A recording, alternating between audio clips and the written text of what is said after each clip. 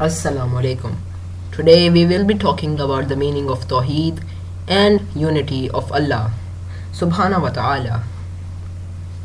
The first principle of Islam is the belief in the oneness and unity of Allah Subhanahu wa ta'ala.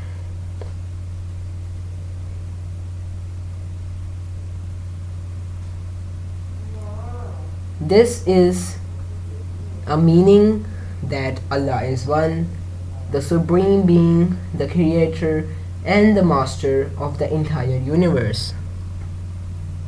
All the prophets of Allah preached about the unity of Allah and declared that all things and human beings are His creations. This is expressed in the declaration La ilaha illallah Muhammadur Rasulullah. There is no God but Allah and Muhammad sallallahu alaihi wasallam is his prophet.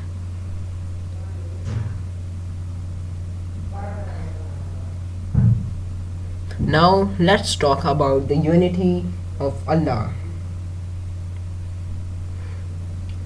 Unity of Allah means that Allah is one and does not have any partners. He is single and unique.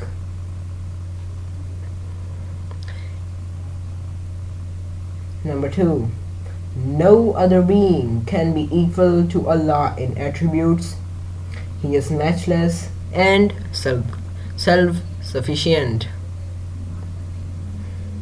Number three, no one can do the work which Allah has done or may do. He created the entire universe and is its controller, master, and sustainer. When we ponder over the universe, we think of a creator because such an organized and well coordinated world could not have come to existence on its own. Observation reveals a harmonious order and a systematic arrangement in the universe. The sun and moon rotate within their respective orbits, while the night and day strictly follow their fixed schedule. All things have been created in a given proportion with perfect organization.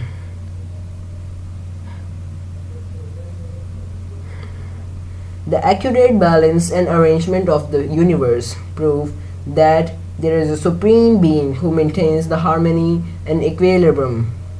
Allah is the creator, nourisher, and provider of all his creations.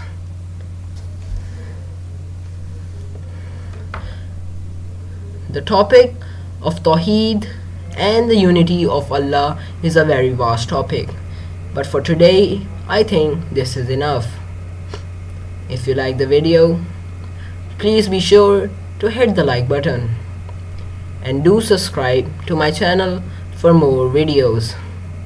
It would really help me in growing my channel. Whereas, if you want to see more of my other videos, you can click on these link in the videos. Now I will see you in the next video. Allah Hafiz.